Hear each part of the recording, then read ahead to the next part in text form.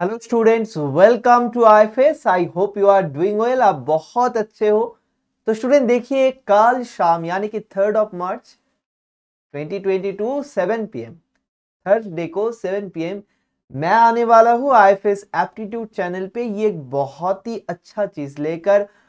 वो है sir doctor APJ Abdul Kalam ji के ऊपर कुछ डिस्कशंस कुछ बातें। उनका जो ऑटोबायोग्राफी है student the wings of fire उसके अंदर पे कुछ ऐसे बातें हैं जो उन्होंने लिख कर गया है फॉर इंडियन यूथ तो सर एपीजे अब्दुल कलाम जी का जो विशन था अबाउट इंडिया न्यूज़ उसके ऊपर भी बातें होने वाला है। एंड उनका जो जीवन है स्टूडेंट ये खुद में एक ऐसा लेसन है आपके लिए और मेरे लिए भी। सारे स्टूडेंट्स के लिए कि हम बहुत कुछ सीख पाएँगे, बहुत कुछ लर्न कर पाएँगे। तो ज़रूर आइएगा, कल शाम को सात बजे।